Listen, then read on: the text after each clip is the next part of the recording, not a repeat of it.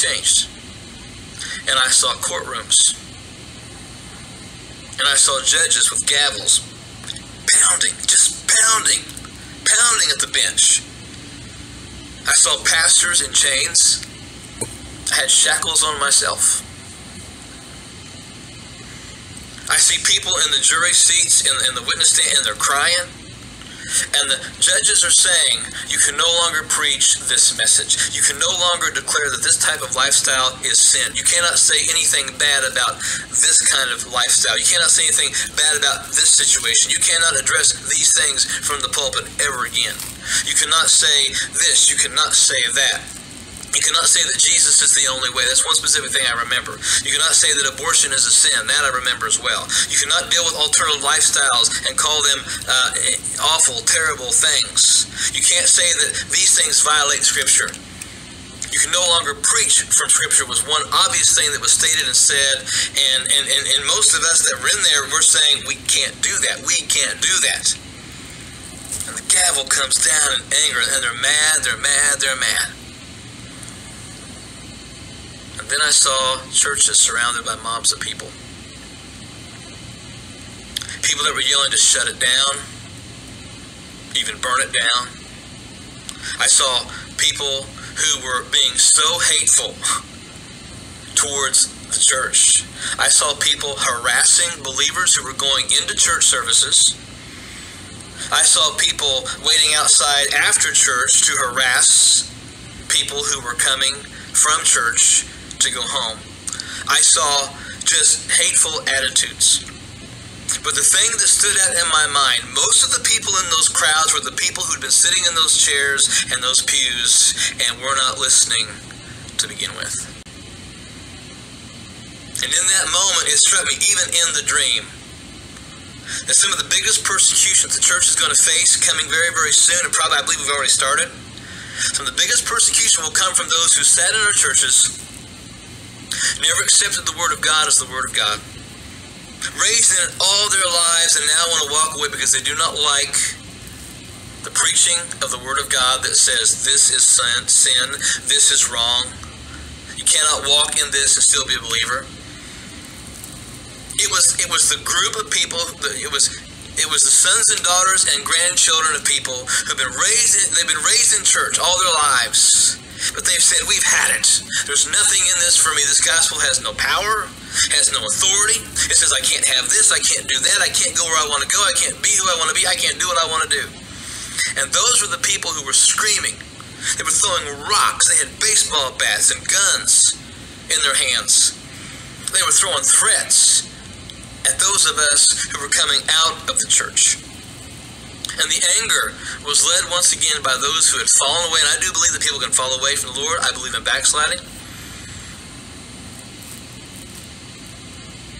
Those were the people who were pushing back against everything they'd been taught. This was in America, and there was chaos and panic, and people were really in terror and I had a lot of fear uh, just a, as an observer. And what I saw was that there was a, a large, I'd call it civilian police force that are raised up. This was not the normal police force that we have on the streets today. This was a different group of soldiers or a police force. And it's seen that some of these were Americans, but not all of them and what I could tell very clearly is they'd had an order given to them to round up all the Christians and all the people that believed in the Bible. And the or, order was the the order was get every single one of them. Don't let a single one of them, you know, run away. But I saw a leader that was giving orders to a, a large group of these soldiers. And this was a black man and his face, he looked just like Barack Obama and the same body type and everything. And he was like pointing with a finger and, and giving them stern orders. So the next thing I saw was there were these groups of Christians being put on to uh, large trucks, or they weren't trains. I describe it as it was like trucks from what I remember. And they were taken to these large warehouses, is what I would describe it as, is like these large cement warehouses. And the next thing I saw, and this is the one time where I really heard a strong dialogue between people, is there was a group of Christians getting off this truck and a group of soldiers. And this Christian man was looking at the soldier and he was yelling at him and he was saying, You don't even believe in what you're doing. And he said, I have complete faith in what I'm doing and I'm ready right now to die for what I believe in. And he, and he looked at the soldier and he said, Are you willing to die for what you're doing? Are you willing to die for what you believe in? And so the second dream, I was just sitting in bed watching TV at night, and all of a sudden my program was interrupted by a presidential emergency alert. But instead of Obama coming through, it was a terrorist. And they were basically just warning us about being on our land and, you know, trying to scare us, I guess. And then the scary sound came back on, like, arr, arr, and then all of a sudden all the power just shut off. And I'm talking about an EMP attack. Like, the entire country just blacked out. And I woke up. but last year, I had the second part of that dream. It was basically the next morning. Everybody was freaking out. Um, without power, we lose a lot of stuff. We are very reliant on electricity for many things that we can't even imagine losing. And I'm talking about access to our money, access to gasoline, um, access to each other. You know, no communication with an EMP attack because the towers aren't working. I mean, everything was just crazy. So, in that moment of desperation, everyone started getting knocks on their doors because how else are they going to address the plan of action, right? We can't contact anybody to find out when our power is coming back on. Um, two men were at my door. They were police. They were dressed in the, you know, the police state outfit, the SWAT looking things. One white man, one African American man. One of them started searching my apartment, looking for weapons and electronics. So they were pretty much trying to take our defense and our communication away. And then the other man pulled me out and attached me by handcuffs to a string of people. And they led us to a vehicle. Next thing I know, I am in, I want to say FEMA camp. And I say this because I found pictures of this later. There were lots of cots, uh, like small cots you would see in a prison, and it kind of looked like a mixture between a prison and a hospital. There were medical staff around the nurses were dressed provocatively, like like a you know like the sexy Halloween costume. The nurses were also treating us like we were below them, like laughing at us and making fun of us, and um, we were also dressed in prison outfits, solid color, top and bottom, and we were allowed to be outside for like 15 minutes every day, but it wasn't like green grass. It was a slab of concrete with um, a fence and multiple cameras facing in at us. Another in the dream, military police. And I had, I knew it was a military police, right?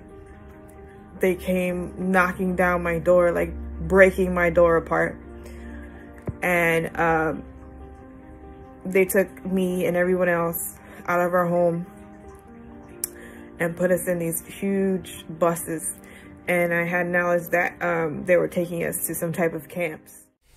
So I had a very short dream about the concentration camps, and I heard God say, bait. You know, you guys will be baited, you know, into the concentration camps. But God just briefly said that we will be baited. The way that it will happen is what bait means is like, hey, we got a whole bunch of um, resources here. We want to help you guys. Just come and, you know, check your temperature. Let's just say that. You know, hey, we got food here. You know, we want to um, make sure that you guys are okay. You know, hey, come on over here to the camps because, you know, it, it's, it's way more safer, you know, over here. And this is what happened. I remember being in this almost like cafeteria building and just um, seeing like lots of people around and these other people that looked like they were like authoritative, like maybe like doctors or nurses, but they had like these clipboards. And I remember my family was around me, but my kids were not with me, but I could see my kids. And um, my head, I thought, um, like, like I just saw like I'm in a detention hall. Like I'm, I'm, I'm, I was put here for a reason, and I don't know why. And immediately I was thinking, okay, they're gonna try to probably force the mark on us. I don't even know why I was thinking that. But when I thought that, I could see like this lady open up this door, and I'm looking at my kids now, and this room was like, they're like promising like gifts and toys, you know, incentives. And the kids were like so excited, not just my kids, but like multiple children. And the kids were so excited. They were like, you know, like, oh, come this way. Oh, we have like candy here. We have like toys here, you know. And then I kind of woke up. Basically, I was in a group of people. This was in the future.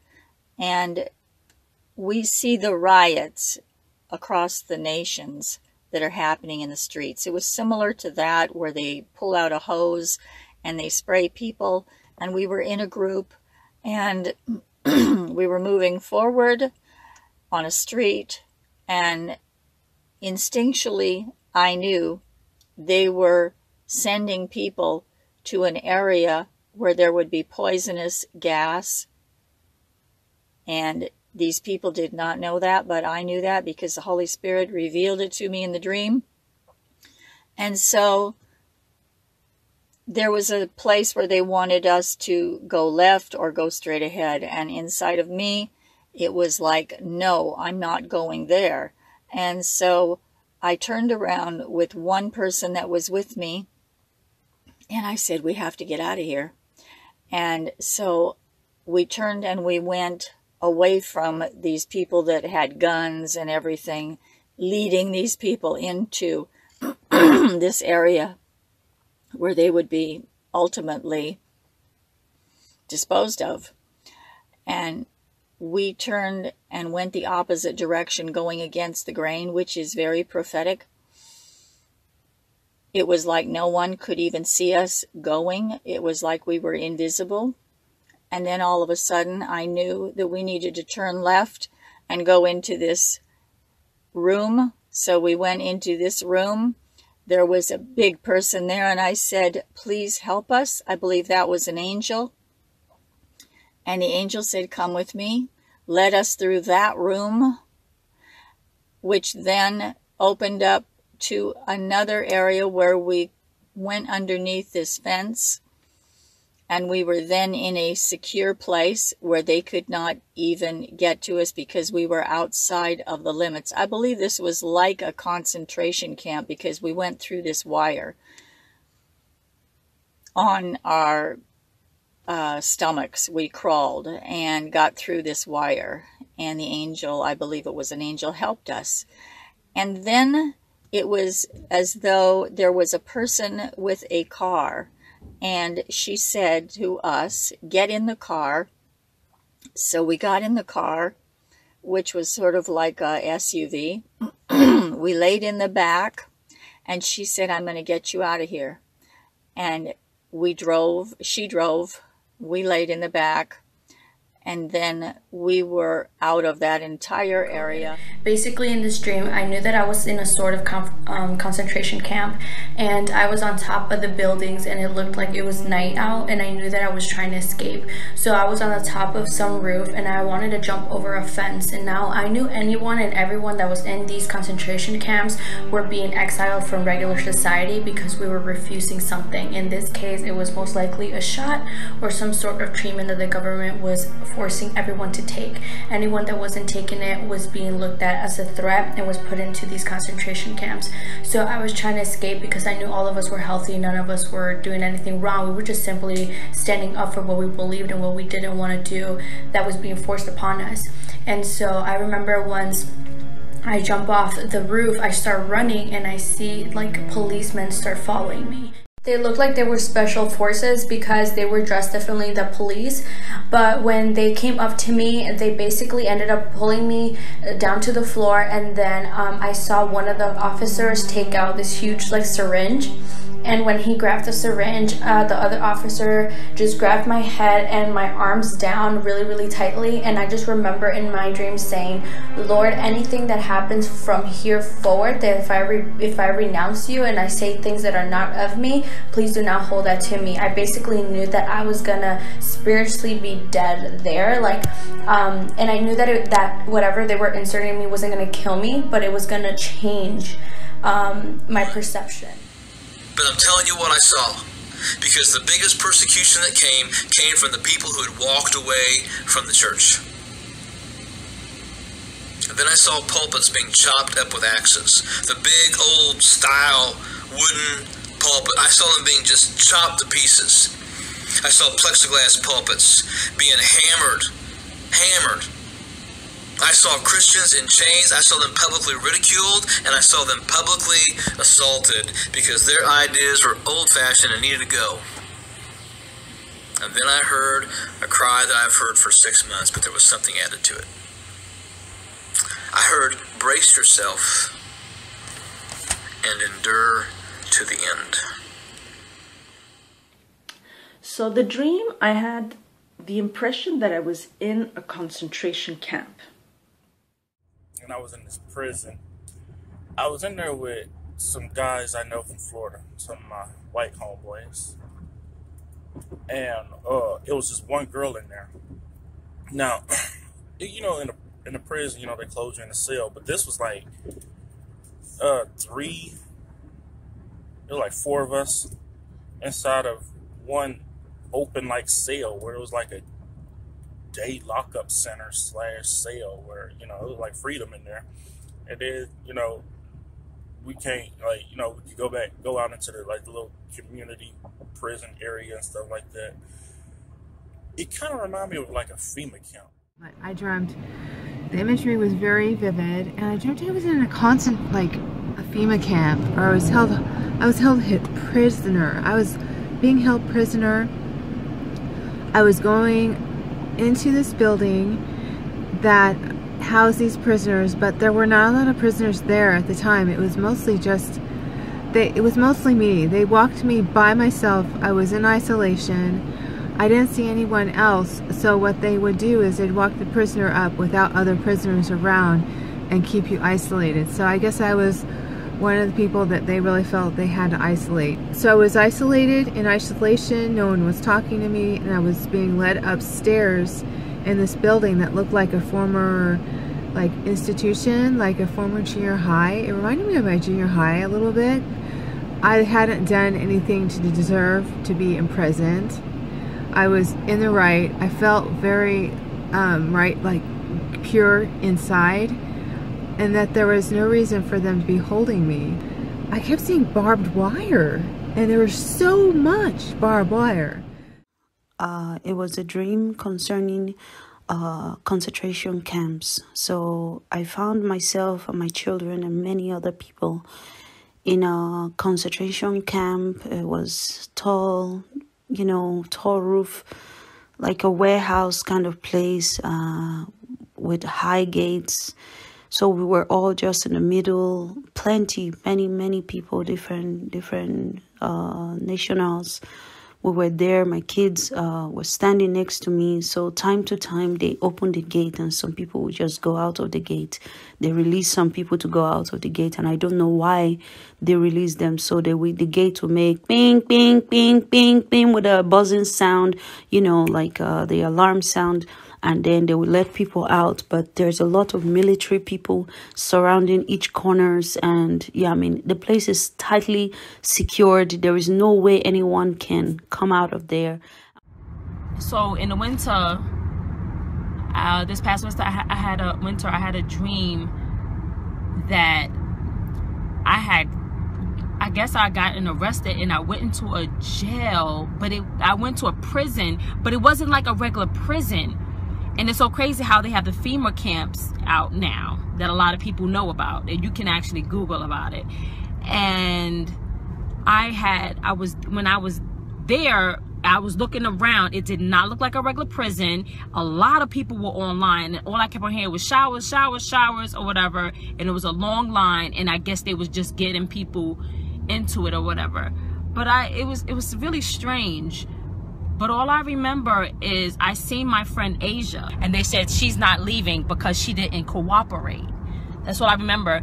And then the dream skipped to me leaving. And while I'm leaving out, all I remember is seeing people on a corner, just like everything was normal, like everything was fine. And all I remember saying was, repent, repent, repent.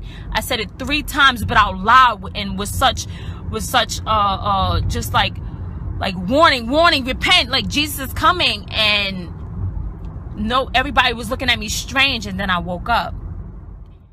We were aware that cities throughout the country were changing. Large fences were being built around certain cities, and there were new boarding schools popping up around the country. The beginning of the dream just showed me and the boyfriend and the father inside our home, and I had this knowledge about the way things were changing. And then the dream changed. I had gone off to one of the boarding schools, and I quickly realized that the place wasn't what everyone thought it was. All of the people who were in management and teaching positions wore black uniforms, and there was one man who was in charge of the entire place. He was very handsome and charismatic, and the other people wanted to keep him happy, but I could sense that he was extremely evil. As a new arrival, I was dressed in sackcloth and thrown into a cage in a room.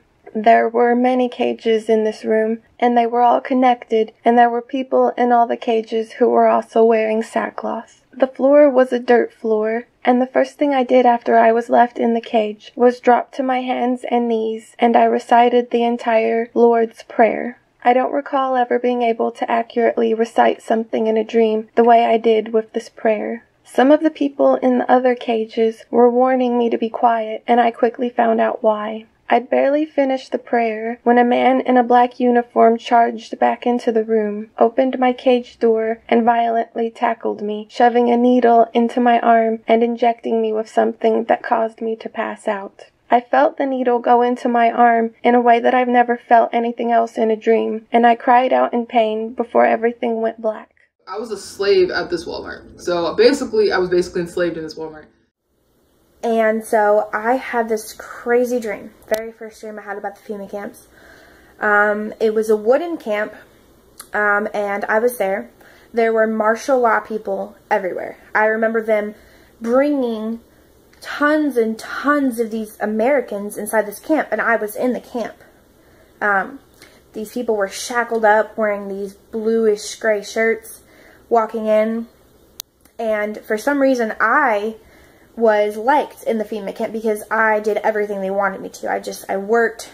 They were, it, it was like they were slaving people. They were beating them to death and they were making them do work. Well, in my dream, I was going around and pretending to be like their little slave girl. You know, like I was doing everything they wanted me to. I was helping them bring people in, but I was doing it for a reason. I was getting supplies and hiding them in my boots and my shirt and my pants so that I could escape. And in my dream, I, could, I escaped like four or five times, but every time I escaped, I forgot something. So the fourth time I went back, I saw my brothers. And it scared me in my dream really bad. My own family was in this camp. Well, I tried getting them out as, as much as I could, and I finally, when I escaped with them, the martial law people caught us. And they were about to beat us, and I woke up. So everybody went into the, the buildings. And as we went into the buildings, I was reminded of like a, a World War II barrack style uh, setting. Because when I got in there, it was, you know, it was, it was room enough. It was an open bay. And we got in there, and, and once we were in there and the doors closed, there was one guy who was not like part of our group. He was a uh, he was like representing the people that wanted us in the building. And he began to share with us things that he, the way he thought and different things. And I could tell by how he was saying things, he was trying to get us to acknowledge his God. But he was doing it in such a way, it sounded like if we did what he said, we would be acknowledging God. Very, very sly, but it, it, it wasn't as if he tried to demand us to do that. But I could tell by how he was wording it, it was like an indoctrination program, so that in hopes that one day we would do that. I felt a, a, feeling of being singled out for some reason. For some reason, he was just messing with me with the intent of trying to get me to do something wrong. Kind of an irritating type thing. And then we were taken into a, what appeared to be a, a big auditorium. And in this auditorium, um, there were men who were part of the group down in the front, and they were individually talking. And it, and it was like they were sharing their testimonies. But when I would hear their testimonies, they were doing everything except saying the name Jesus Christ. They were like, I used to think kind of like you guys think, and now I found a better way. And now I've just learned to serve God. But when he said it, I knew he was not talking about Jesus Christ. He was talking about serving Satan. I'm not sure who it was. I'm assuming that it was a military um, because of the uniforms that they had on. They knocked on our door and they asked for my husband's identification card. And at that moment, once they looked at his identification card, they removed me, my husband, and my son from our home. After the after we were removed from the home, I wasn't sure what happened with our son. I didn't see him anymore in the first dream. Um, he was separated from us, and I just remember me and my husband, we kept praying for the safety of our son because we wasn't sure what happened with him. Um, I remember one point of the dream, we looked up and I, we looked up and we saw like the clouds and the gates of heaven, and it appeared as if they were opened. And then when I looked down, it was like fiery flames, which I'm assuming that was hell. um, I remember because we didn't know about our son, we didn't know if he was okay or not. Me and my husband in the dream, we wanted to commit suicide. We wanted to escape everything that we were going through, and it was a lot that, that was going on in the dream. Um, and we were hoping that we would still be able to enter heaven if we, you know, ended our lives. Um, as you know, if you commit suicide, that's not something that you are supposed to do. Me and my husband in the dream, we thought about that, and as quickly as we thought about it, that moment passed because um, we just end up cho- choosing the option to enduring until the end. I walked out of the gas station and um, they were beheading people, and I, I knew I, I knew I was in a dream, so I wasn't scared. So the first thing I yelled was that I was a Christian, and they grabbed me and put me on for me to have my head chopped off. So in this dream, you know, um, I was looking and I saw these three people. You know, they were on their knees, like hands folded, like they were in prayer, heads were bowed, and there was these three other people that were standing, but had like samurai swords, and all of a sudden, these th three people that were on their knees and praying, right, looked up to he heaven and they prayed and they were in very cheer, a lot of cheer, right? And they were happy. And there was, I don't remember what they were saying, but they were saying like, I see the Lord, I see Father, our Father, right? So all of a sudden, these three people who had the samurai swords do this like ninja move, like a jump and a and a twirl of the uh, uh in the back. It was really weird, but um, they do it and they then at the end they chop each each and one of them chop their heads off like one at a time. So one did that crazy little weird move head chopped off and then the other one went and then the other one went. And i said you know he who endures to the end shall be saved. And that bothered them. And um and you can tell because everybody got quiet. And um they kind of like they just were really irritated by what I said. Then I said this is where ISIS is. Um and as he drove faster uh, the car flipped over and started flipping.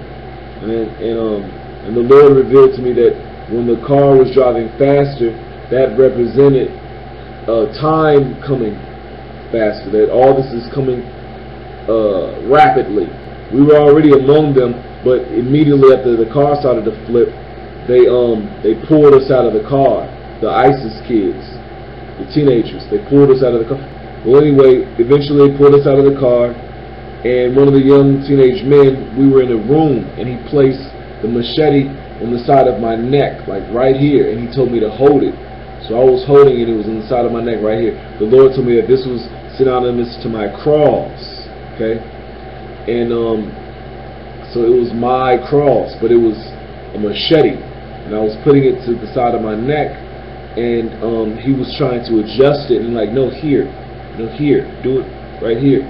At the same time he was comforting me and he was being gentle in his tone and speech even though he wanted me to do it right here as if he was like trying to help me and catapult me to go to heaven uh, in a, in a, in a beneficial way, as if he was benefiting me. And he said, don't worry, Jesus will save you. Because I was scared and I was nervous. And he said, you know, let's just do it different. And he placed my head on the ground, and I laid my head on the ground, and then he, he, he um, he placed the machete in my head. Now, as I was laying there, um, I was hearing people crying and sobbing, and, and then I also noticed that he killed another young boy, and um, he chopped his head off, okay? and um, he applied the pressure to my neck, and before you know it, I was just my spirit was out of my body, and I was looking, and I was like, like what happened? You know what I mean? I'm like looking like, like, like what happened? And um, as I was looking, I didn't feel. I realized that I didn't feel any pain. I realized that no pain came upon my body. You understand? And immediately, the scripture came to mind immediately. Oh, death, where's your sting? We were being led into a school gymnasium, and we didn't know why. And we were being called in by number. And we got in there, we saw a guillotine. And I was waiting in line um, to be persecuted, and the guy in front of me um, laid down on the guillotine, like on his back, which is really strange. But he was like looking up and he seemed really um, okay with it. I guess you know he he seemed prepared for it and um, not all that afraid. In this dream, I was about to refuse the mark of the beast for the final time. And the Antichrist was alive and he was well and he was soaring to newer heights in his attempts to get Christians to deny their identity in Christ. So I had the guillotine right before me. I bravely stood before my executioner and I was decapitated. Now, as I stood up in front of the guillotine, my life was gone in a flash. I did not see the blade, not in this dream, nor do I recall anything except the immediate moment after my death. I was set free from my flesh, friends, like a bird in flight. I was soaring above the scene of my earthly departure, and I was waiting expectantly for my spouse. Um, I had a dream that the believers were going to be beheaded by the guillotine, and there was a lot of um, kind of there was some fear among the believers. But God gave me in my dream two scriptures it was really nice. I felt I felt hope in the dream. Lately, um, the afflictions and the fiery trials, um, they've been you know, going on for a long time. But in my dream, it was just, it was amazing. I was thinking about like a new heaven and a new earth in my dream. And it's it's not like this world, not anything like this world. You know, it's not going to be like anything like this world and the wicked will be gone. And there's not going to be any more tears, no more sorrow, no more death. It's going to be amazing and we'll be with our Father. It'll be wonderful.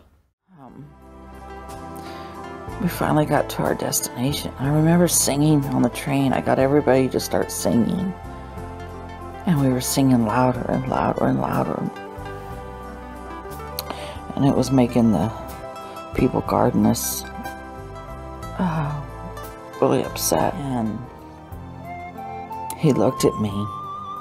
And I told him, I said, I'm not afraid of you.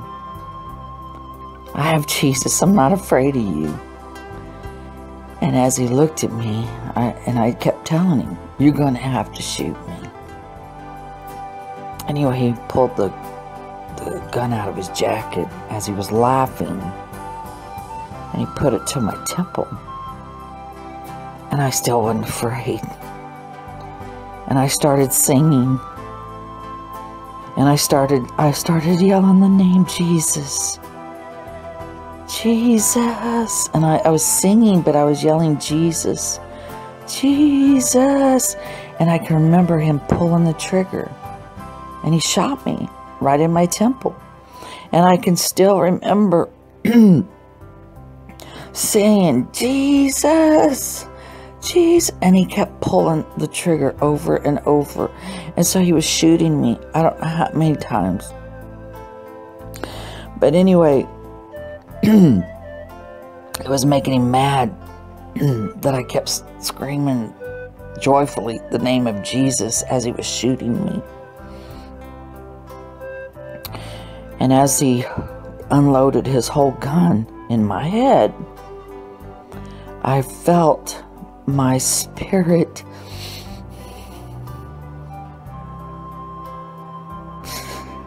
I felt my spirit leave.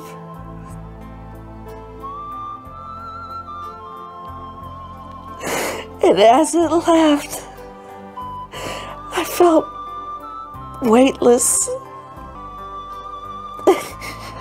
and as I, as my spirit kept going up, I was so happy. I was so happy. And there were streets of gold. And the colors, the trees the grass. It was so real. It was so real. I was I was flying over the trees and stuff, and there were so many different colors. I I couldn't describe them all. They're pink, pinks and blues and greens and yellows and it was so beautiful. I slowly descended into heaven there where everybody was at. And everybody was going about.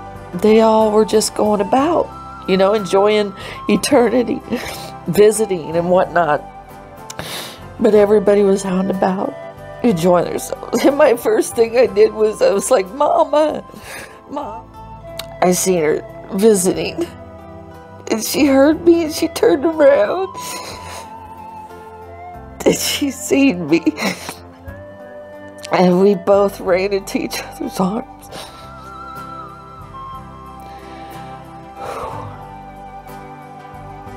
What a joy it's going to be. It was so, so real.